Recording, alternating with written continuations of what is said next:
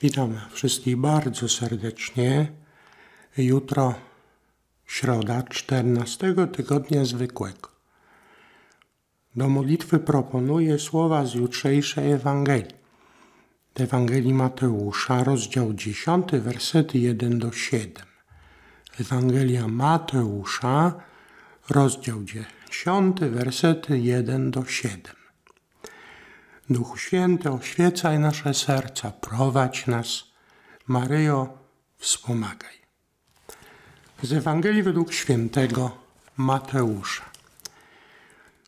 Jezus przywołał do siebie dwunastu swoich uczniów i udzielił im władzy nad duchami nieczystymi, aby je wypędzali i leczyli wszystkie choroby i wszelkie słabości. A oto imiona dwunastu apostołów. Pierwszy Szymon, zwany Piotrem i brat jego Andrzej, potem Jakub, syn Zebedeusza i brat jego Jan, Filip i Bartłomiej, Tomasz i celnik Mateusz, Jakub, syn Alfeusza i Tadeusz, Szymon Gorliwy i Judasz i Iskariota, ten, który go zdradził.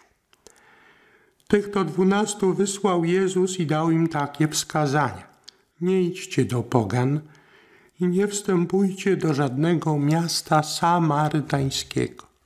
Idźcie raczej do owiec, które poginęły z domu Izraela. Idźcie i głoście, bliskie już jest Królestwo Niebieskie.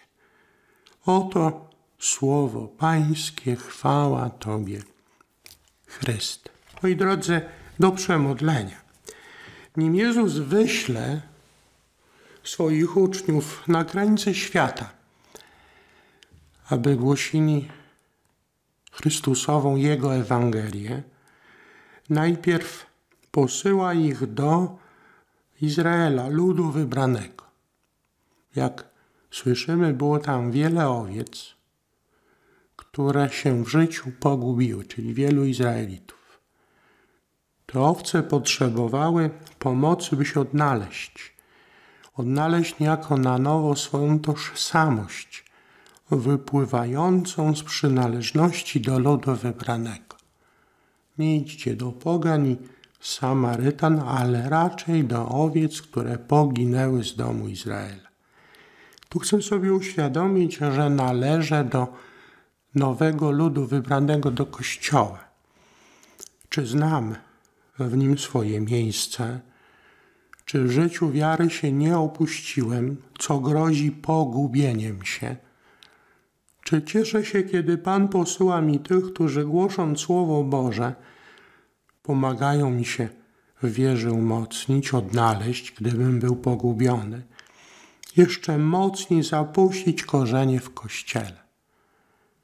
Czy dziękuję za misjonarzy, rekolekcjonistów, kierowników duchowych, spowiedników? Jak słyszymy, Pan do misji wybiera według Mateuszowej wersji dwunastu apostołów. I tu w sercu moim też może pojawić się pokusa zwolnienia się z tego ewangelizacyjnego zadania. Nie ma mnie wśród dwunastu, więc to nie moja sprawa. Chcę pytać, czy ja jednak czuję się odpowiedzialny za dzieło ewangelizacji czy nie zrzucam tej odpowiedzialności na jakąś grupę ludzi, najczęściej osoby duchowne czy misjonarzy świeckie, misjonarzy czy duchownych. Czy to dzieło wspieram? Oczywiście przede wszystkim modlitwą, ale także na miarę swoich możliwości materialnie. Czy czuję się misjonarzem, byśmy tak powiedzieli, na swoim podwórku?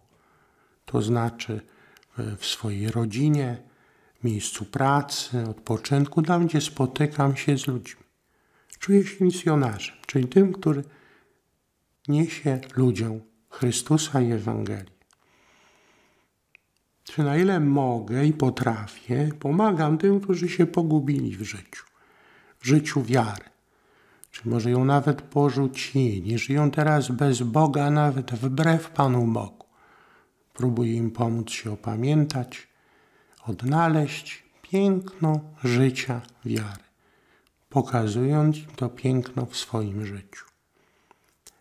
Dowiadujemy się też, że wśród posłanych był Judasz Iskariota, późniejszy zdrajca Jezusa i Ewangelii. To bardzo poważne ostrzeżenie, także i dla mnie. Ostrzeżenie, że bycie w kościele, zaangażowanie nawet w dzieło ewangelizacyjne nigdy nas nie zwalnia z troski o siebie, o swoje serce, o swoją osobistą relację z Panem Jezusem.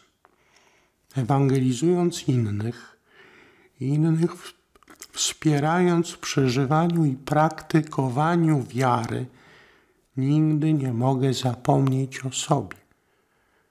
Czy o tym pamiętam? Czy w moim życiu ewangelizacja dokonuje się tylko na zewnątrz, ku innym, czy także i do wewnątrz, do mojego serca, mojego sumienia, mojej duszy? Czy jestem człowiekiem będącym ciągle w stanie ewangelizacji, ciągłego przemiana, ciągłej przemiany serca? Czy pomagając innym w budowaniu zażyłej więzi z Panem Jezusem, sam o tę więź dbam, dbam, troszczę się, pogłębiam, rozwijam. Zmagam się i to szybko naprawiam wszelkie w, tej wzgle, w tym względzie zaniedbania. Czy ten dramat Judasza jest dla mnie przestrogą? Ciągle mi przypomina, abym nie zapomniał o ewangelizacji samego siebie. Moi drodzy, to moje propozycje do modlitwy słowem na jutrzejszą środę.